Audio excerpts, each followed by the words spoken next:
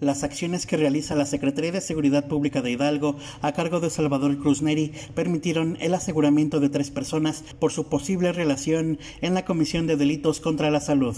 Mediante recorridos de prevención y vigilancia en el Parque Industrial de Tepeji del Río, los agentes estatales intervinieron a un hombre de iniciales LGBH de 25 años a bordo de una motocicleta y a quien le detectaron diferentes envoltorios con probable droga. Durante la revisión le fueron dos bolsas con 66 dosis de hierba verde con características propias de la marihuana y 36 dosis de droga sintética cristal, las cuales quedaron bajo resguardo de la autoridad. En tanto, en el municipio de Nopala, durante patrullajes realizados en la localidad de San Lorenzo, se intervino a dos personas del sexo masculino, uno de ellos originario del Estado de México y el segundo de nacionalidad estadounidense, quienes tenían en posesión dos bolsas con un total de 240 gramos de presunta marihuana. Por estos hechos, los tres detenidos y objetos asegurados quedarán a disposición de la autoridad competente por hechos probablemente constitutivos del delito de narcomenudeo.